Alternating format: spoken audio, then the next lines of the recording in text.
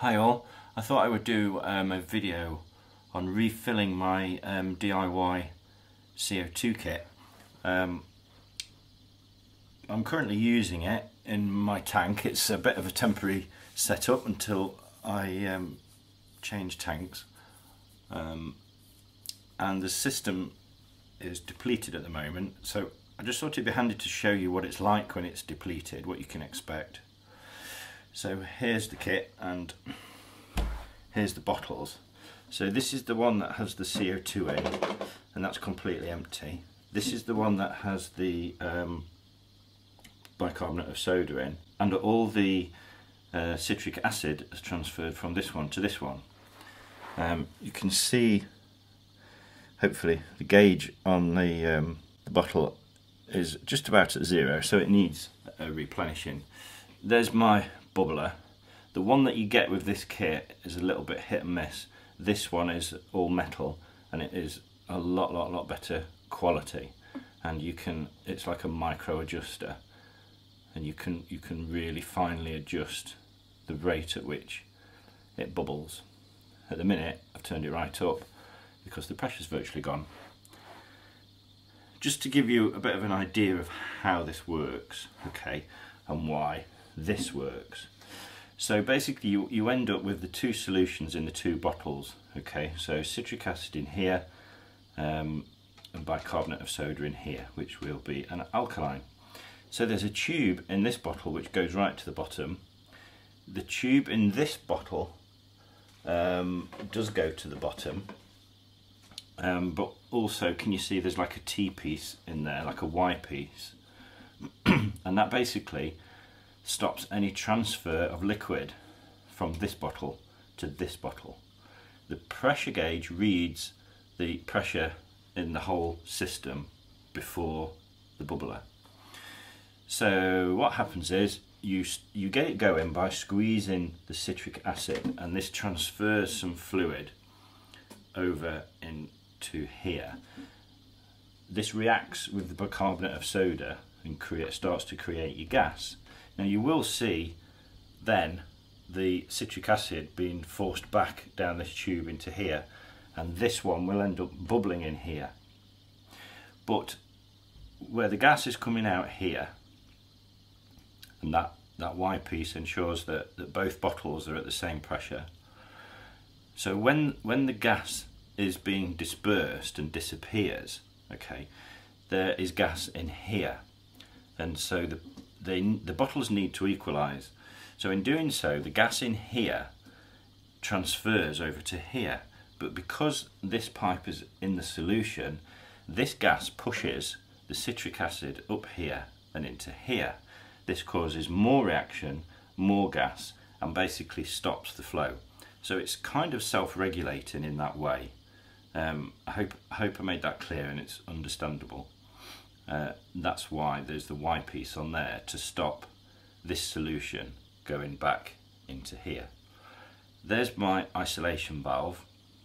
So what I'm going to do right now is I'm going to turn the isolation valve off and disconnect this uh, just to show you in the aquarium what's happening.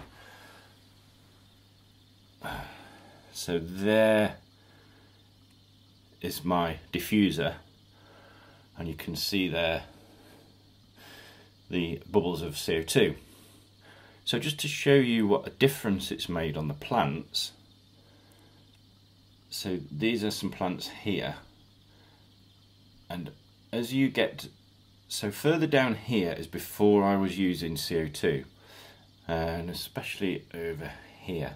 So you can see the plants are a lot darker, okay if the camera would focus. Okay, let's give it a go.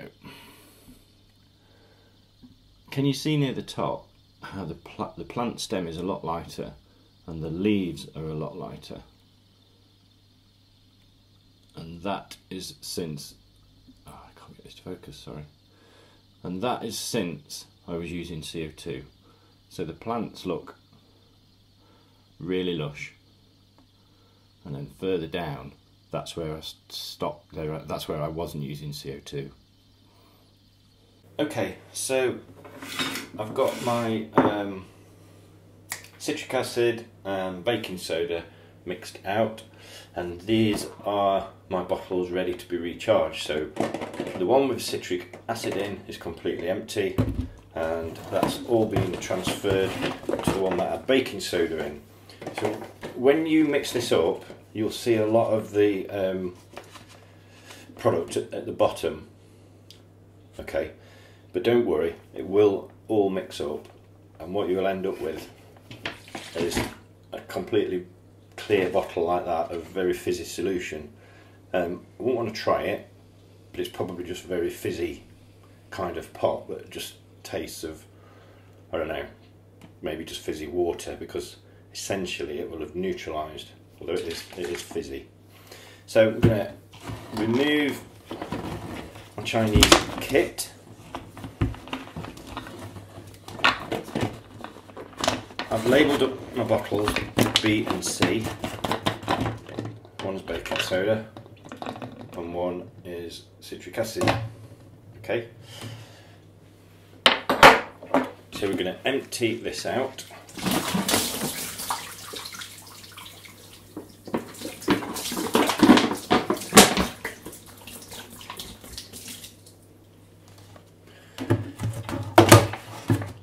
Check that that one's empty. Okay, so got a funnel, baking soda,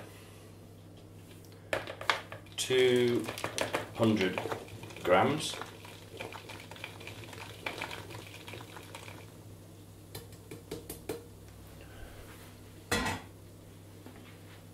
While the funnel is dry, put the citric acid in, just give it a tap to get the rest of the powder out. And then 200 grams of citric acid granules.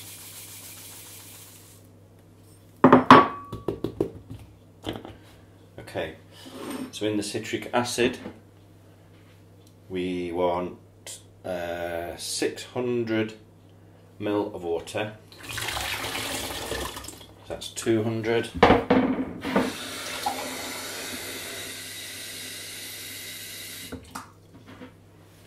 400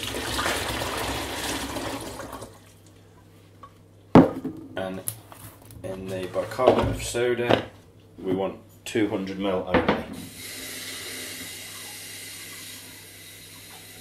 and that's because the citric acid is going to transfer to that. So give them a bit of a mix up.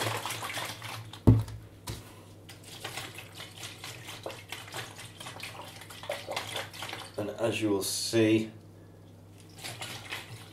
probably all the citric acid granules won't mix up. You probably end up with some at the bottom although this one's mixed up quite well because the water was a bit warmer. Um, bicarbonate of soda very milky. So then take your kit drop it back in the bottles making sure you get it the right way round.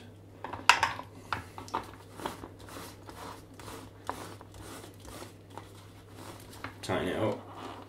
These bottles, by the way, was um, it was diet lemonade from Aldi, 17 pence each. So really cheap bottles. Close off the isolation valve. Just give them a bit of a twist and squeeze the um, squeeze the citric acid. Okay, I'll hold that one there so you can see it instantly can see that. It's fizzing like mad. That one's bubbling a bit because what's happening is there's pressure being created in here. So it's transferring across here but only the gas which is going in the Y piece. So the gas is going in there. And if I open the valve you can you can hear the gas. Now you see what's happening here, we just tilt the camera a little bit more. So I said to you that it was um, self-regulating.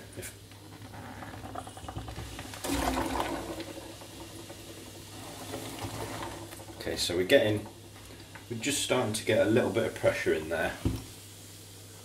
I said that this thing was self-regulating, so what I'm going to do, I'm going to let some pressure out, and what you'll see is citric acid being transferred down this tube, and the reason for that is because when the pressure reduces in this bottle, it has to obviously equalise from this bottle and by doing that it transfers citric acid up the tube down here and then creates more of, of a reaction to replenish that gas.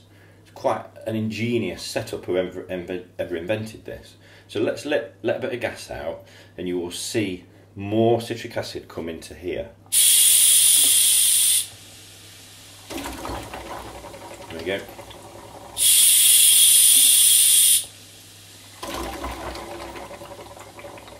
This this bubbles when I shut the valve off because the pressure in here is increasing and then it, it basically transfers that pressure over to here.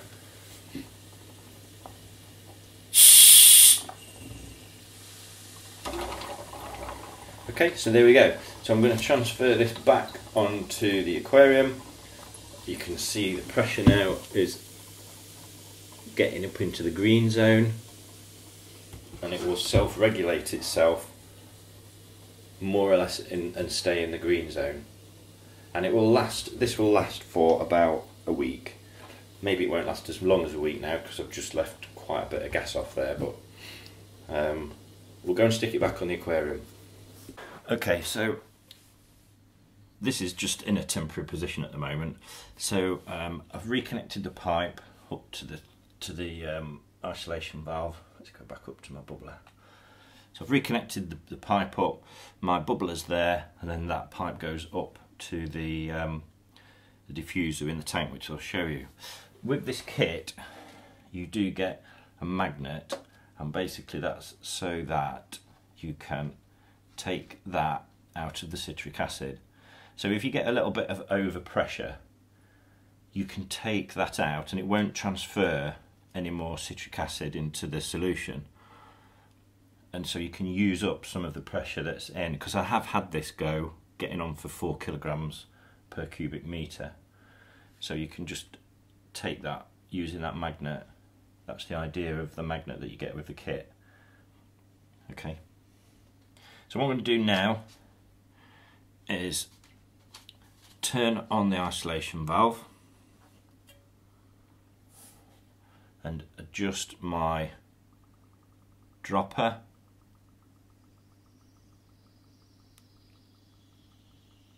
and I'm going to have it going fairly fast because we're about halfway through the day and I had run out of CO2 so if I can show you that.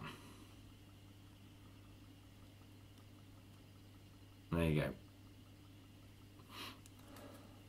So as you alter that you increase or decrease the rate.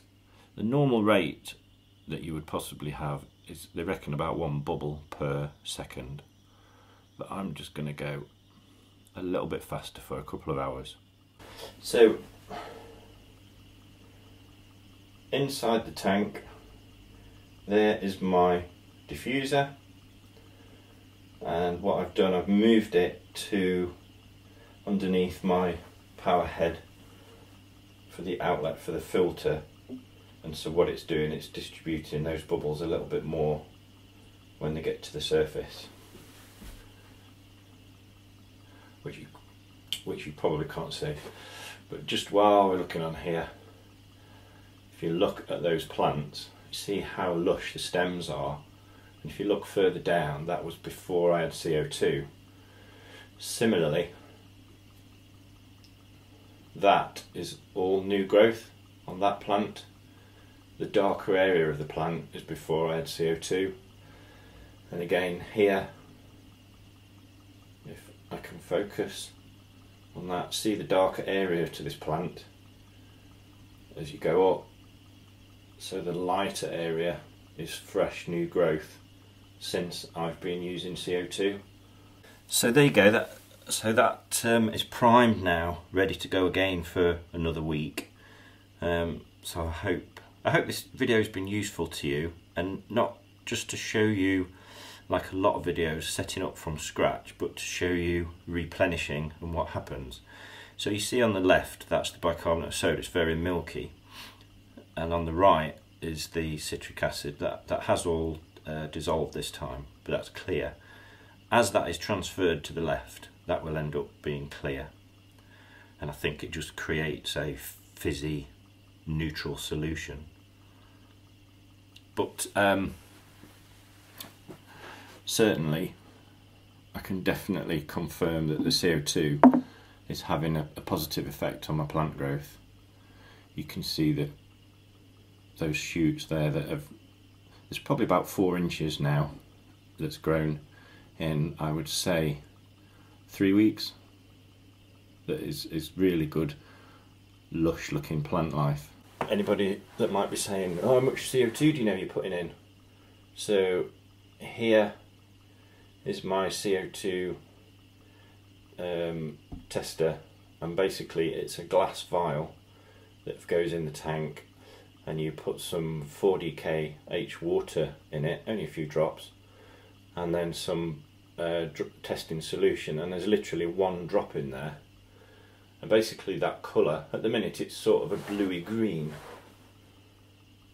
um, but it goes from blue through green to yellow and it shows you it gives you an indication of how much CO2 is in the water in the tank.